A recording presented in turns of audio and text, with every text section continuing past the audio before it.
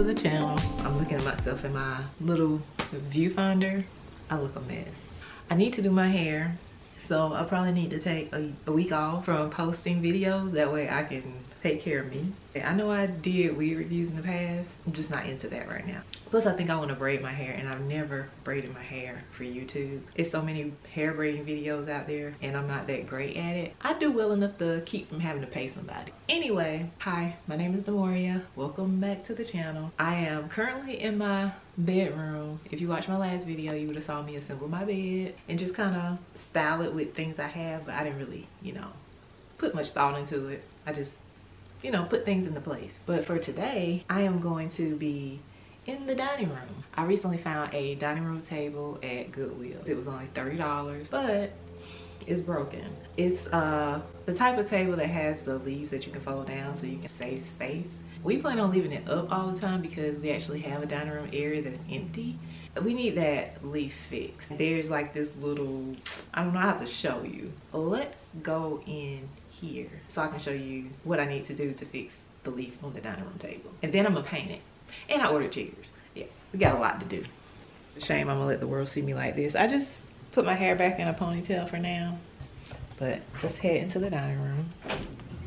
Now you're probably wondering what this is right here. We had a bit of a storage situation, so we used curtains to create a partition to hide some belongings. And you know, it, it's working to make it look neater out here, but it does look a little awkward. And then whenever I ordered them, I didn't have the right length curtains the first time. So I went back and ordered more curtains. But the second time I ordered them, I didn't order enough. I have seven curtains up here. Four short ones, three long ones, and then I really need a long one here. But I don't really like the color. So what I decided to do was just reorder different curtains. So I'm gonna take these down and replace them with different curtains. Before I even go starting with the curtains, I'm gonna go ahead and work on this table. So let me show you. So this is a table that I picked up from Goodwill. It has a broken leaf on it, like I said. I don't know what you call it. What would I call this thing? Let me see. I'm gonna Google it. Ah, I don't want to call it a leaf holder. What is it? Leaf support. Boom. So this is a leaf support. I only have one. So there's a leaf support on this side of the table, but there is no support on this side. I went to Home Depot, let me show you. I couldn't find anything that measured that size. So when I went to Home Depot, I looked around at different pieces of wood and everything was a little too big, but too small to actually, you know, try to trim it down and make it thinner. So I decided to pick up this little thin piece of wood. That way I could cut it to 13 inches and I could just stack them and glue them together until I get the thickness I need to make it fit this little hole right here. There's a little space that this piece of wood would need to slide into and it would come out through here but I would have to put a stopper on it so it doesn't slide completely out. Like how this piece has this stopper on it. What I picked up from Home Depot was the piece of wood that I showed you and here's a little sticky note that I took with me where I put my little measurements on that I could use as a guide. I bought two screws and I bought these little washers. That way I could make my own stopper. I think it'll work. I need to grab a few supplies. I need to grab my saw, a screwdriver, some wood glue. I think those are all the things I need. Let me go ahead and mark this for 13 inches. And I wonder how many pieces I'll need. Let's see here. It says it is 3 fourths inches wide. So let's see how many inches this is across. It's a fourth of an inch. So I need three of these. I can stack three of these and that should be good. How tall? One and one fourth inches. Let me see how, how much the distance is across here. One and one fourth, that's actually perfect. Wow. okay. Oh, don't wanna cut my foot.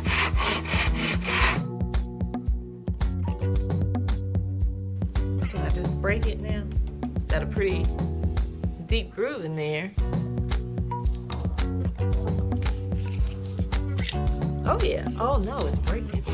Let me saw on the other side. I don't want to splinter.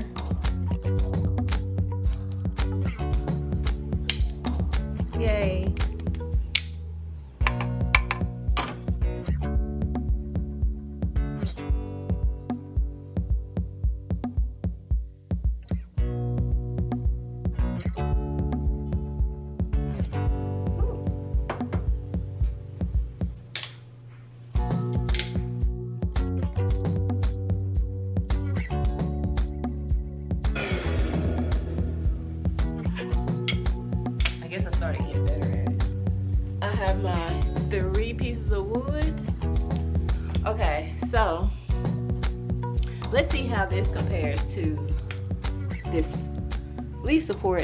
Already have on the table. All right, so here's the leaf support that's already on the table. The thickness looks the same to me. Let's see if I can slide these through this hole. Oh wow, it worked. That's perfect. The only thing I need to do at this point are glue these pieces together and let them dry and then I'll put the my little stopper in. It's coming out the sides. It must be clogged. I have some chopsticks from Tendron. Thank you, Tendron. Oh, it's a perfect time to use these. So I'm just gonna dip my little chopstick in here and I'm gonna use the wide end. And I'm gonna smear it on. Yep, got glue on it. I did a pretty good job of cleaning out my closet whenever I was trying to decide what to wear today. Something that wouldn't bother me if it got messed up. I had a pretty hard time. I got rid of all the things that I don't care about. I still have some clothes in there that I have to try to force myself to wear, which is not good. So that means I need to go through my closet again. But at least I do know I don't have junk in my closet. These are glued, but they're not like sticking together right now because the glue is not dried. They're kind of sliding around and I'm trying to keep them aligned. So I'm gonna use some painter's tape to secure them together.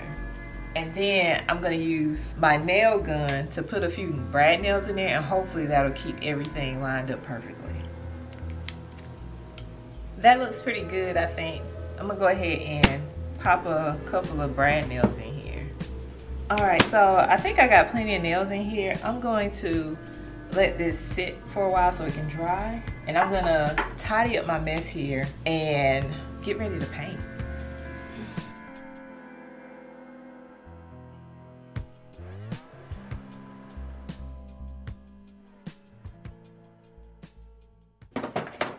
Probably been about 15 or 20 minutes and I think I'll be safe to go ahead and try to make the stopper to go in here. So I'm gonna go ahead and do that. If I try to put the stopper in before I slide it in, it won't go in. So I gotta slide this in here. I'm gonna take my little nail here and some washers. That's gonna be my, my little stopper. All right, let me move this out of the way. So this little stopper here, you see how close it is to the edge? That's what I'm kind of afraid of. I don't know if I'm gonna get mine that close to the edge because I'm afraid of that wood splitting. So I'm gonna bring mine back just a tad.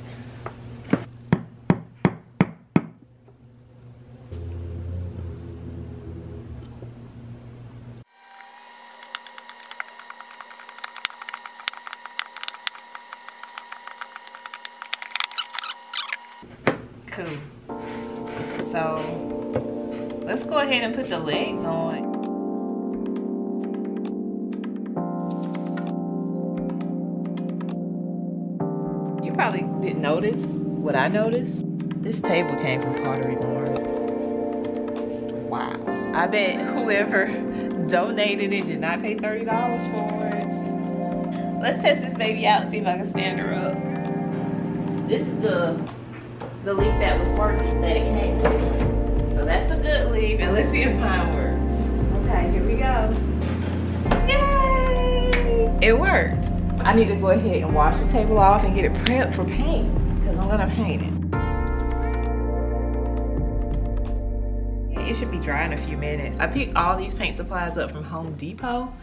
And when I went to Home Depot, I had every intention to prepare myself to sand this table. But whenever I went to the paint department and I talked to the lady that worked there, I showed her a picture of the table, I described it to her, and I told her what I wanted to do with it. And she was like, oh, you can sand it if you want to, or you can just prime it and paint it. So I was like, heck yeah, I want to prime and paint. I knew that it was gonna take a long time to get it sanded and painted because I don't have a sander. So I was actually thinking about buying one. And why would I buy a sander when I could just buy primer and paint it. The only downside is the primer was kind of expensive. So I ended up spending almost $100 in paint. I, well, I bought some other items. So I think I spent probably around $75 for my paint supplies.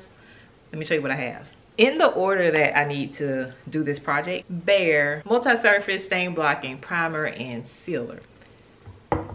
And then I have the actual paint that I want to use. I had two that I was debating about. One is sort of like an ashy black and the other one is black. And I went with the black one. This is a Behr color, but she mixed it in the Glidden.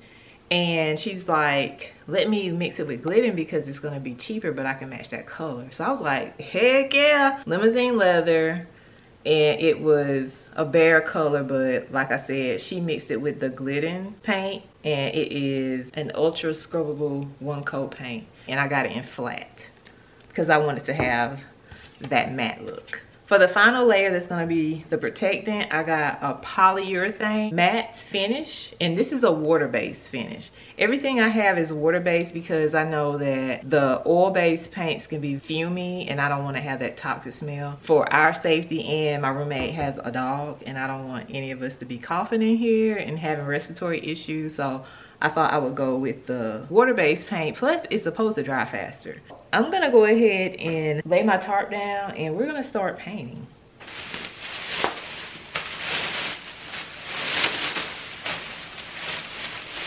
I feel like I need to move the table out the way.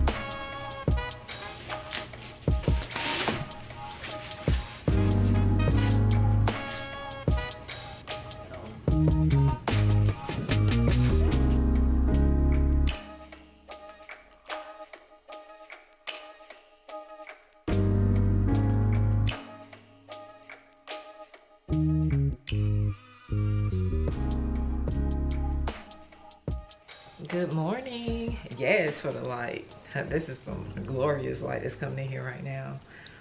It is 11.38. I've actually been up for quite a while. I didn't sleep good last night. I had so many things running through my mind about the dining room because last night I put the chairs together and I intentionally ordered gray. In my head, I thought the gray chairs would look good with a black table.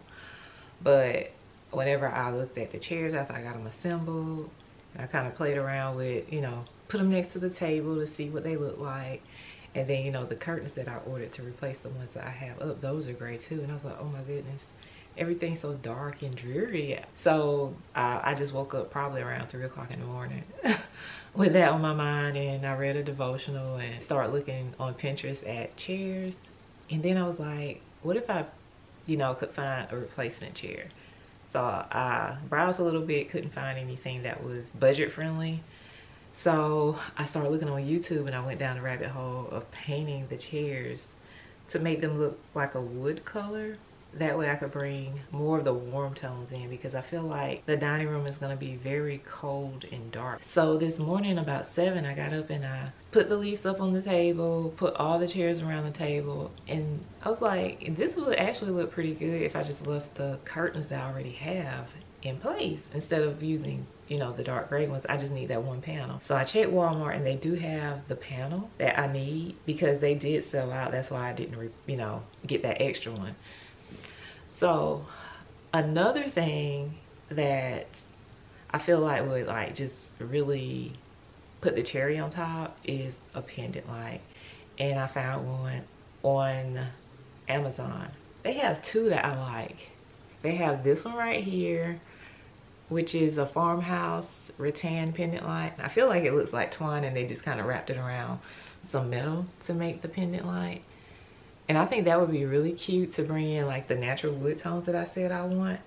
And that one is $39.99, $40, which is I feel like a pretty good deal. And then they also have this one. I feel like this one be the best one. This one is a rattan looking one. It looks like the actual wood. It looks more natural to me. And this one is $50. But the problem with this is if I order this, it won't ship till Sunday. If I order the other one, I'll get it tomorrow. And I really want to wrap up the dining room. So what I'm thinking I should do, because everything else I have, I'm thinking I should just go ahead style the dining room because the table's not completely done. I'm gonna be honest, I didn't put the top coat on it the sealer because I decided I can just go ahead and style this video, wrap it up, and then once I post it, I can just go back and take all the stuff off the table and put that protective coat on there because it's going to be a matte finish so it's not going to look any different from how it looks right now. It's not going to have a gloss on it. I didn't want to go for the sheen. I'm thinking i could always go back later and make tweaks and improvements. This is real life and i have a budget so i'm just going to go ahead and use what i have and we're gonna go style it. All right, before we head into the dining room, I want to show you the things I have to possibly style with. And I won't be using all of it, of course, because you know how I do. I buy some, I return some. But we have three rugs here. One is an indoor outdoor rug by Calvin Klein. It was $45 and it's just a plain gray rug. It has a lot of texture on it. So with all the other great stuff going on i don't know if that'll work but it's an option. Because it's really plain. I just feel like the table's not to say a whole lot if it's just sitting directly on the floor but this is it right here. And it's a pretty big rug let me see what size it is. Five feet three inches by seven foot. That's an option. This one i think was 30 dollars. I don't know the size. This one doesn't even have a tag on it but i do know it was 32 dollars feel like it was a little pricey, but I needed options, so I went ahead and got it. The thing I like about this rug is I can throw it in the washing machine. You know, since it's gonna be under the table if we keep this one, food could get all over it, and that'll be easy rug to keep clean. And then the last rug option is the most different, but the one I'm hoping will look good because we need color. This one is, uh, it was $34.99 and it is four by six. I feel like it would be better if it was a bit bigger, but I'm thinking this may look good later on top of the gray one. We'll see. But I really hope this one works. I'm gonna show these to my roommate too and see what she thinks about it. For a centerpiece, I picked this up from Target, Hearth and Hand, and it was $30. I think this is a really good deal because it's really big. And I got some beautiful flowers to put in here to make an arrangement. And then I have options for the tabletop. I have this uh, runner and it's like a natural, I don't know, what is this material called? But yeah, this is an option. I like the natural color because, you know, I want to bring in some wood elements. And then I also have this this wood Lazy Susan and the shape of it will work well with the round table. But whatever I do, I'm to put this arrangement either on top of this or this. We got options, which I need because I be struggling.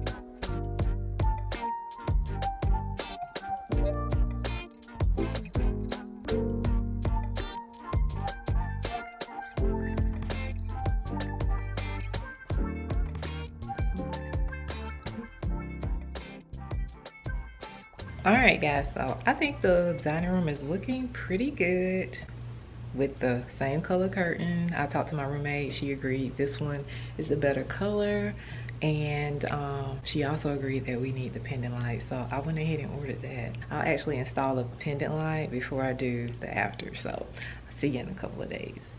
Just a few seconds for you guys though